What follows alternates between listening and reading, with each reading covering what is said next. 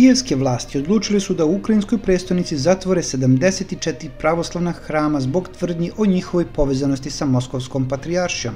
Kako se navodi u dokumentu koji je potpisao gradonačelnik Vitalij Kličko, a koji je objavljen na sajtu Gradskog veća Kijeva, neke od tih pravoslavnih svetinja biće lišene prava korišćenja zemljišta, pa će kao nezakonito izgrađeni objekti biti srušeni, navodi ukrajina.ru na Telegramu. Ova mera samo je poslednja u nizu mera koje za cilj imaju uništavanje kanonske Ukrajinske pravoslavne crkve, koja se optužuje za saradnju sa Rusijom.